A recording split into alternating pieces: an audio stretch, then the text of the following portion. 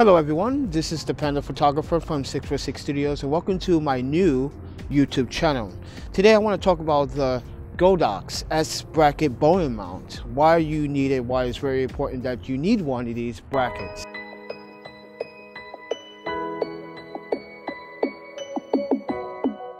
Now, I understand you may be on a budget, but this is pretty affordable. It's only between uh, $20 and $26 on Amazon.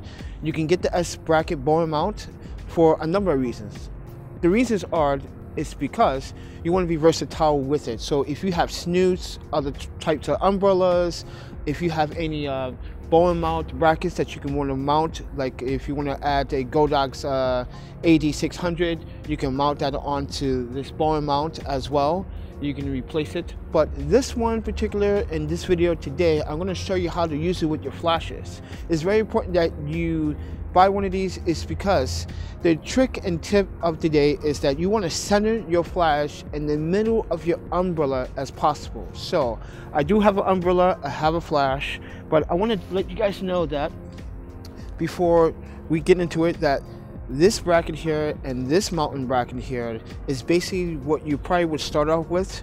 And I do recommend this bracket particular because this is a three-way flash bracket that you can use to center your flash.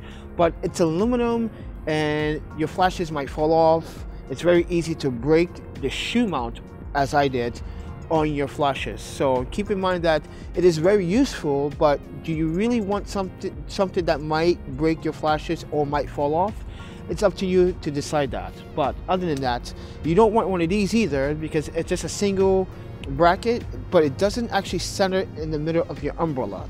And what I'm referring to is the fact that I, if I open this umbrella here, and you want to be very center. So you want to be centered with the pole, and the pole is very centered. So you want to make sure that you get as much uh, light in the middle to balance out your your your output of the flash to your subject. So if that makes any sense. So I'm going to demonstrate that to you guys in a moment and I'm going to show you what I'm using. I have a monopod here with the S bracket uh, mounted on uh, basically it's very versatile and I'm to show you guys the unboxing on another video I did I'm to actually delete the audio from that so you guys can see that video as well but uh, when you do your portraits, especially portraits or wedding photography, you might want to bring this along just in case you want to actually get some uh, one-on-one time with the bride and the groom, uh, even the bridesmaids.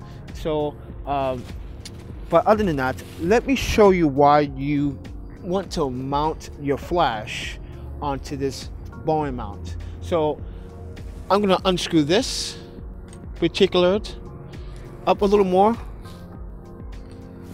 all the way up until I get a center point. You see here. And I'm gonna mount it down as tight as possible. Now I'm able to actually, if I turn this around, I'm able to actually mount it on safely and it won't fall off like those other brackets that I just showed you. So, and you can see from the back of the Bowens, the S bracket Bowens mount that I have full control over my flash. I can set it up if I want to use this as an individually uh, flash holder if I want if I don't want to set a flash um, if I don't want to set a softbox or a snoot or any type of softbox that I want to put on here but it's going to be very very important that you buy one of these and I do recommend it now I'm not a professional when I say these things I'm just here to help you guys and the uh, photography community understand why it's very important to buy one of these Bowens mount. So, and as you can see, my Godox TT600S is actually mounted because I'm not allowed to mount it on my camera body anymore. I do the best that I can. So that's the reason why I brought the S, um, S bracket Bowens mount. So keep that in mind. But the next step I am going to show you guys is why it should be centered. So I might fast forward this part, so be patient and I'm going to show you why you should mount this on and why being centered in your umbrellas or your snoots are very important. You want the flash to be centered. So I'm going to mount this on really quickly.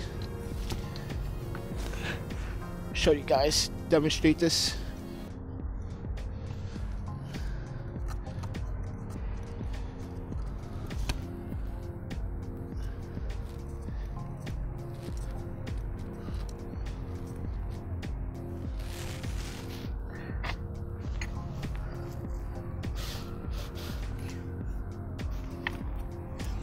And as you can see, it's center. If you can see that, it's very center. Sorry, just gonna move some stuff out the way. It's very center in the middle now. So the flash is going directly in the middle of the umbrella. So it bounces off the, the output of your flash and bounces out that light. So when it hits your target or your subject, it gives you direct exposure of your subject or your model. And it's really, it's a very windy day in New York City. I'm doing this out in the cold, everyone. So it's very cold. It's probably like 33 degrees outside, and I got a bunch of police sirens going on up here. I'm sorry for the audio. I'm doing this outside.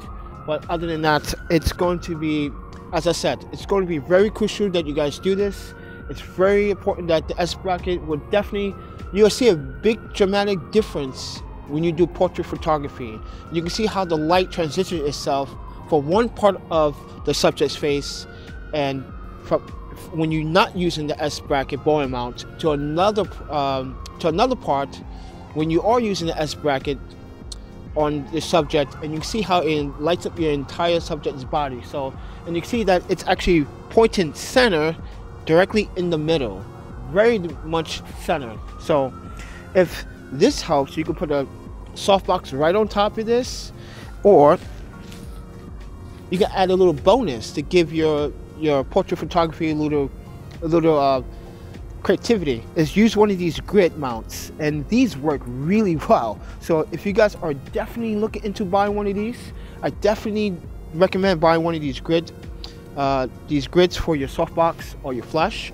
So keep that in mind. But i just want to make this quick video tutorial about how to set this up it's ready for it and you have all controls here. So therefore that's pretty much and pretty much it to it. But thank you for watching everyone and i hope you do love the content. And please do subscribe to the channel. Please hit that like button. Please share the content. It really helps me out on my new youtube channel here at 646 studios uh, and definitely go to my website at 646studios.com where you can find a bunch of tutorials on photography, night photography, astrophotography, even videography in that point of case. And you can make a donation if you like at any amount you want. Uh, and basically it's all my content is all free on my website so i appreciate you guys do that and i will see you guys in the next one